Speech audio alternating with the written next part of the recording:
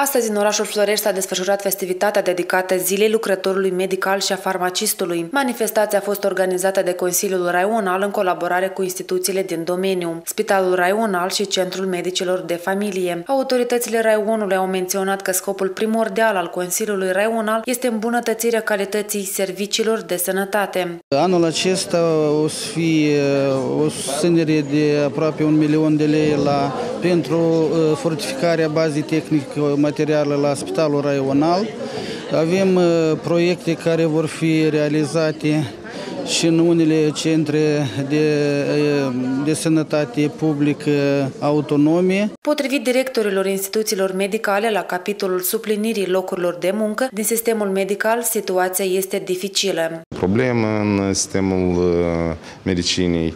Cu părere de rău, tinerii care absolvesc universitatea nu prea vin la lucru. Dacă aș aduce niște cifre, în ultimii trei ani, patru ani, au venit 3-4 persoane.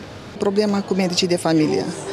La capitolul asistență medicală cu medicul de familie suntem asigurați 100%, dar medici de familie undeva ponderea este de 76%. Spre regret, de acum medicii se apropie la vârsta de pensionare, dar dat fiind faptul că sunt capacități, este profesionalism, este responsabilitate, ei își continuă activitatea și Medicii care activează în prezent în instituțiile de profil din raionul Florești susțin că ei continuă să-și manifeste dedicația chiar dacă sunt nevoiți să lucreze în condiții vitrege. Specialitatea este, a noastră este foarte grea.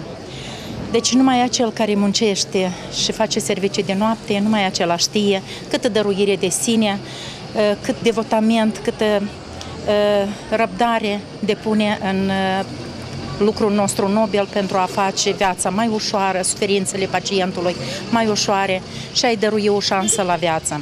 Noi toți, unul altuia, cât și pacienții, vin cu cuvinte de mulțumire și de recunoștință pentru munca pe care o depunem zi de zi, pentru nopțile petrecute la căpătăiul bolnavului.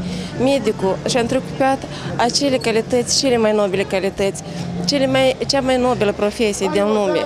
În cadrul acestui eveniment festiv, cei mai buni lucrători medicali din raionul Florești au fost menționați cu diplome. În cadrul Centrului Medicilor de Familie își desfășoară activitatea peste 200 de cadre medicale, iar în Spitalul Raional Florești peste 400 de specialiști.